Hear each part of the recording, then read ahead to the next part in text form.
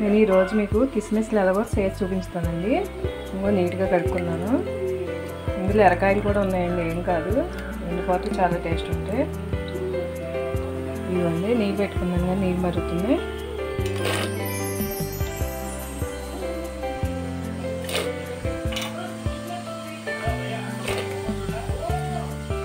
మరిగే మరిగే వాటర్ వేసేస్తున్నామండి రెండు మూడు నిమిషాలు మరగనిస్తే కిస్మిస్ బాగా ఉడుతాయండి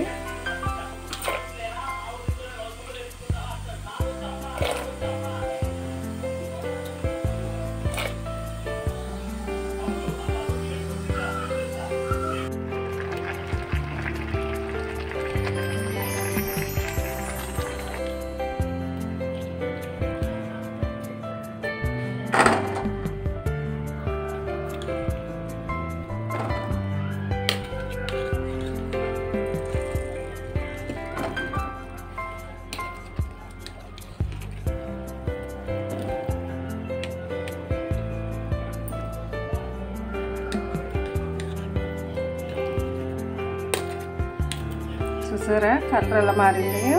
రెండు మూడు నిమిషాలు ఉడకబెట్టుకోవాలండి.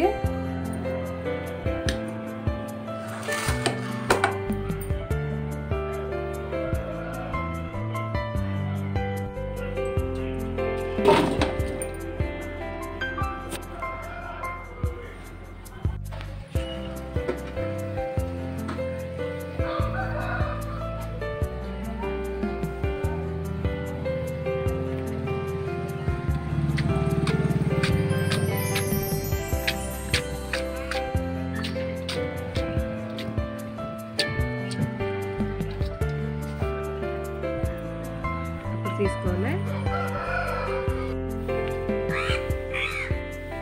ఇవ్వండి కిస్మిస్లు ఎండిపోయినాయి అన్ని పోస్తే ఇన్ని అయినాయండి. బాగా వచ్చింది. మీరు ఒకసారి ట్రై చేయండి. చాలా బాగుంది చాలా టేస్ట్ ఉన్నాయండి.